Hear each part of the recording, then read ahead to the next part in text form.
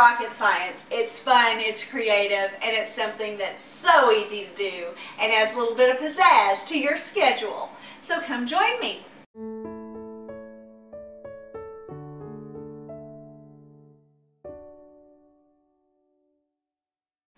Hi, thanks so much for dropping by today. Today we are making a super cute calendar made out of a picture frame and paint swatches. All you'll need is a dry erase marker and whatever color scheme you'd like. So let's go. So the first thing you'll need is a picture frame. I've already cleaned my glass. You can go as fun as you'd like to or with classic black like I chose to. Then choose what kind of color swatches you like. You want at least uh, five swatches of color on each strip, uh, but the more the merrier. Just whatever will fit. Some of them may need to be trimmed, but you can make it work. The ones I'm working with today are Glidden brand paint swatches and I just picked these up at Walmart. These are all free so you can just mix and match however you'd like. You could do all the colors of the rainbow. You could do all shades of a certain color like I kind of did. You could just go crazy and be creative. The key is you want at least seven swatches. I wanted to go for nine so I could also have so I could have one for each day of the week as well as some for the month and different notes. So that'll make a little bit more sense as we go along. It's not rocket science. It's fun, it's creative, and it's something that's so easy to do and adds a little bit of pizzazz to your schedule. So I have arranged my paint samples in the order that I want them. Now I'm just going to turn them upside down and arrange them on my frame.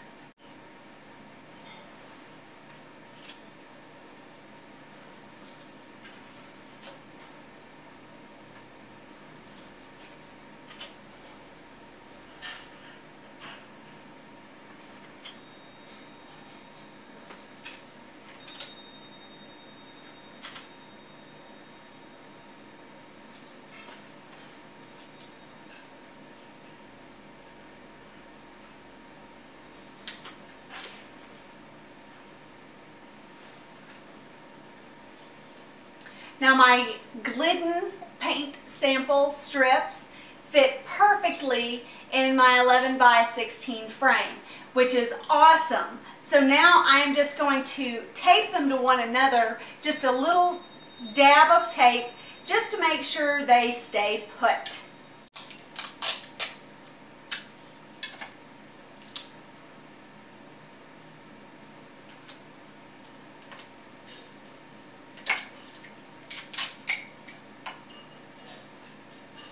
We need much tape, just enough to keep them from wiggling.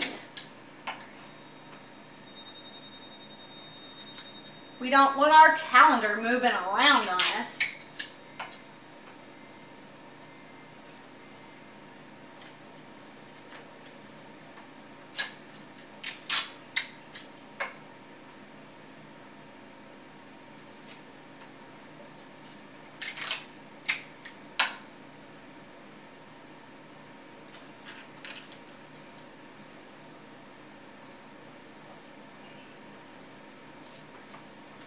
Now I'm going to use these other two pieces that I have and I'm just going to overlap them and use them along the top for the month of the year and maybe a little notations or goal setting and things like that just for a fun little extra dash of color.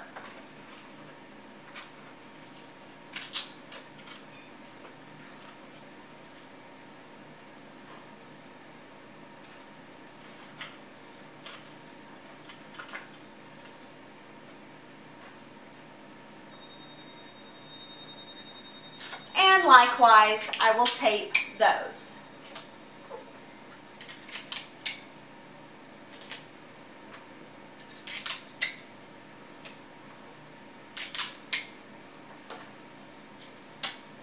So everything is very well taped. Now I will just put the back on, flip it over, and start to fill in the gaps.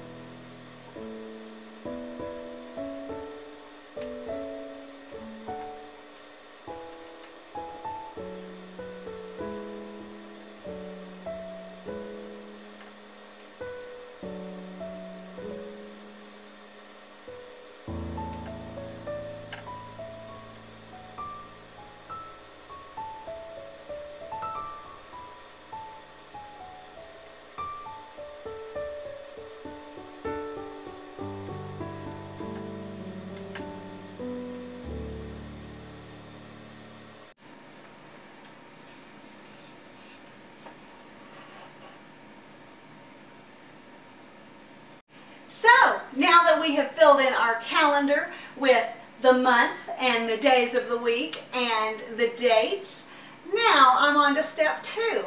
I have to fill this in with all of my to-dos.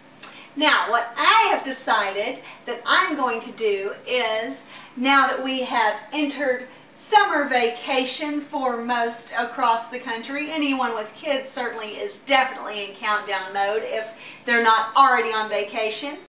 My kids will be out of school on the 6th, and I'm really looking forward to that, spending a little bit of extra time with them. But also, I'm looking forward to the more beautiful weather outside and hopefully a little bit more time on my hands to be able to play and get a little bit, little bit more fitness in. So, what I am going to use my calendar for is something that I am calling the 500 calorie a day burn. So I'm going to use this as my workout calendar. Now the thought behind the 500 calorie a day burn is that it's so easy to, even whenever you're very good about going to the gym every day or going to work out or going for a run or going for a walk, it's so easy to go to the gym, have a great workout, burn 150 calories, maybe 200, and then go and treat yourself because you earned it with something from sweets or dessert after dinner or something like that. And I do it myself all the time where I'll have a great workout and then I'll say, oh, I deserve that. I had a good workout and I burned extra calories today. So then I wonder why my body remains the same and it doesn't change as, as much as I would like to see it change. So my goal for this summer, from the time that my children get out of school till about three months from now when they go back to school, is to burn 500 additional calories from exercise every day. Now, even if I just do it five days a week, that is just going to be a huge difference in the way my body looks and my body feels and people are going to be able to see it and I'm going to know why it happened because I worked a little harder, took that extra step and did my best to really burn. So join me with my summer burn. Feel free. Friend me on Facebook, Endomondo, MyFitnessPal, all of those places. Everything's down in the description bar. Join me on my summer calorie burn.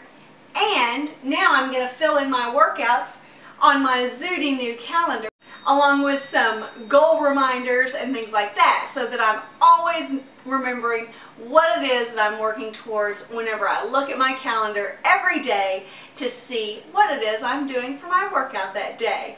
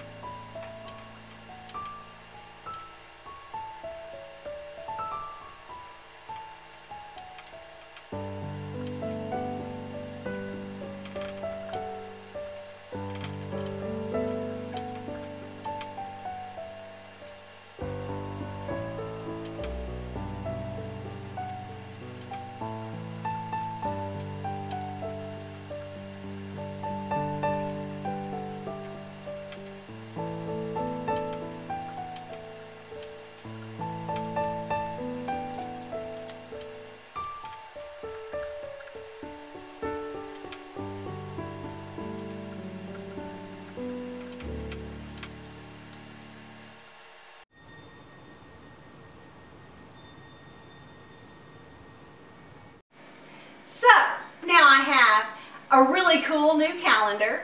I have a plan in place for my summer 500 calorie a day burn and I'm ready to go. Join me, won't you? Thanks so much for joining me today for this fun tutorial and hopefully even for the 500 calorie a day summer burn. Bye!